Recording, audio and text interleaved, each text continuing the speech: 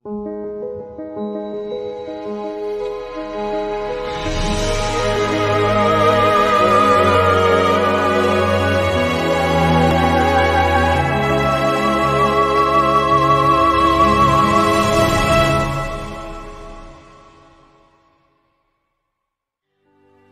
majci.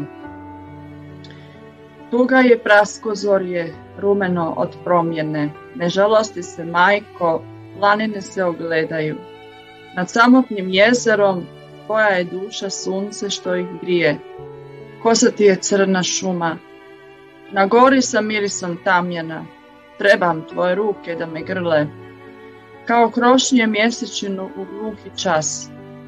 Pa opet ti kažem, mila, Tvoje suze dragocijenije su od bisera, rasutih i samilosnog korita od badema.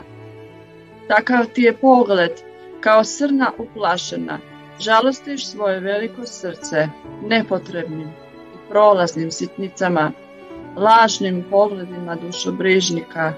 Pusti, pusti sve ono što na tvojim licu slika nove bore, a tvoju crnu šumu snježnim bijelilom nije još vrijeme, mama, da sazriju bademi i srnu je bolje pustiti njezinom otmjenom galopu.